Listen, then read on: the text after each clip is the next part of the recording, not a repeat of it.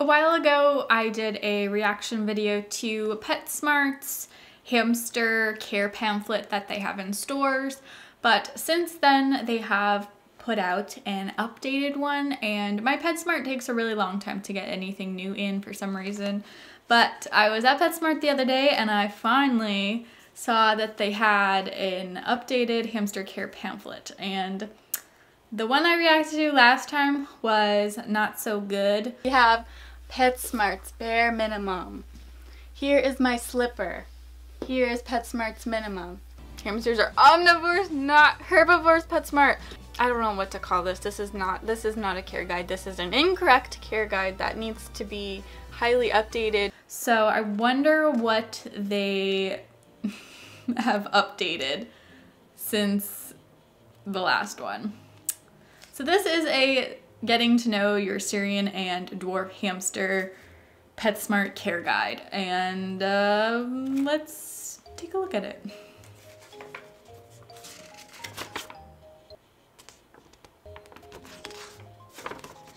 Okay, so this is, uh, it's, it's like, this is how big it is. So compared to the last one that I looked at, which had like actual sections of each care requirement, this just looks like they've taken like a couple of points and put it onto a pamphlet it's quite vague looking. Energetic and athletic hamsters. Their fur-lined pouches that extend from their head to their shoulders help them transport food. So it's good, good fact about hamsters, I guess. Experience level, beginner. I would disagree. Size, dwarf hamsters grow up to three to four inches. Syrian hamsters grow up to five to seven inches. Are they also including Chinese hamsters in this? Or... Or are they just lumping them in with dwarf hamsters? I don't know. Lifespan, on average, they live for two years. It's good.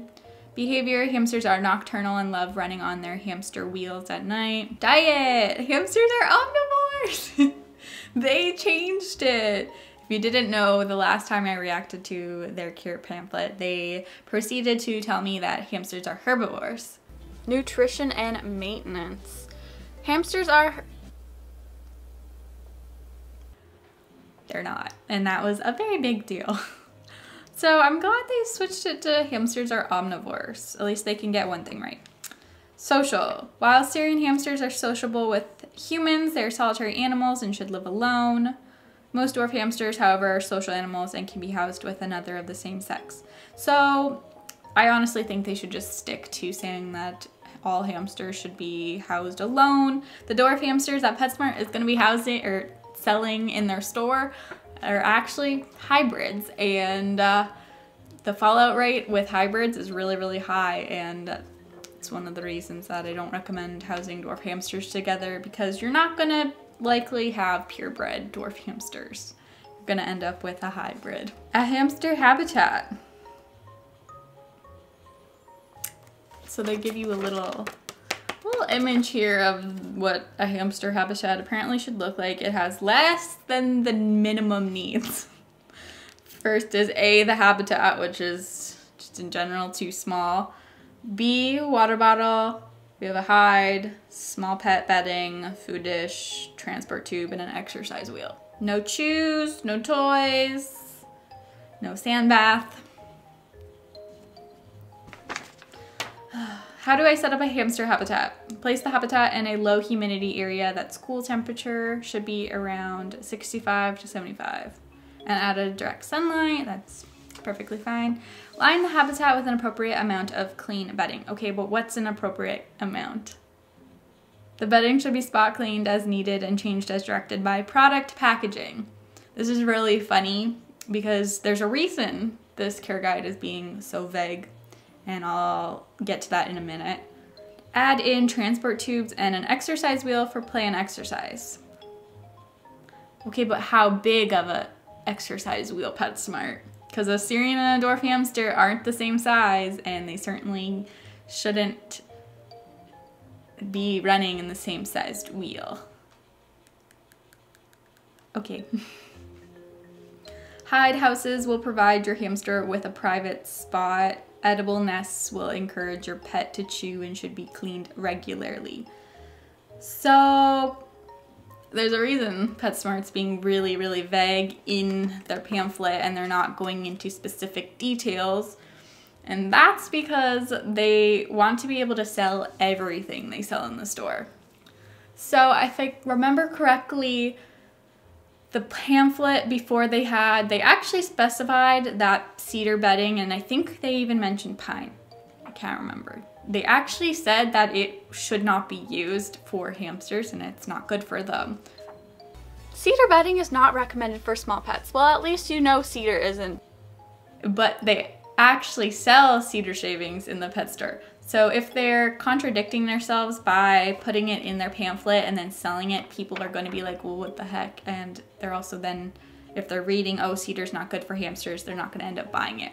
But if you're vague and you don't put what is safe and what's not safe in your pamphlet, people are going to buy whatever. They're going to go, okay, go to the bedding, buy the cheapest one.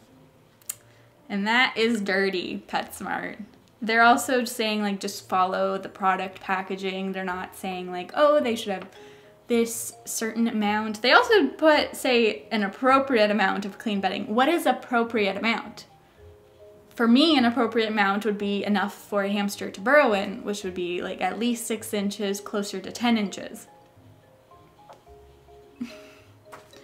What should I feed my hamster? Okay, so we have a pie chart here and they say 80% pelleted food. That's it, just pelleted food. No seeds, no grains, that's 80% just solid pellets, the rest of your life. Why do they treat hamsters like they're actually prisoners?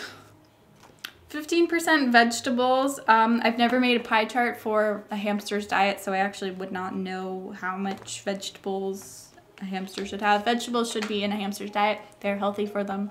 I just don't know what the percentage would be. And then they say 5% fruit and treats, and that you can offer treats twice a week. And of course, they include that water should be clean and fresh every day. Uh, they actually even go as far as to put when should I contact a veterinarian, which kind of hints at the fact that hamsters should go to the vet and will need to if they're sick. So they basically say like you need to make an appointment with your vet if you notice any cloudy, sunken, or swollen eyes, wheezing, sneezing, discharge from eyes, nose, or mouth, Overgrown front teeth, bare patches, sores on the feet, weight loss, not eating or drinking, diarrhea, or discolored droppings. And then on the back they have a shopping checklist and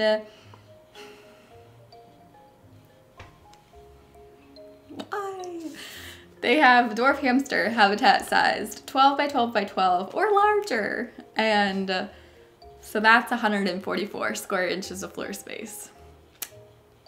I don't even know if that can really essentially fit all of the bare necessities a hamster needs. Syrian hamster, habitat sized, 20 by 10 by 12.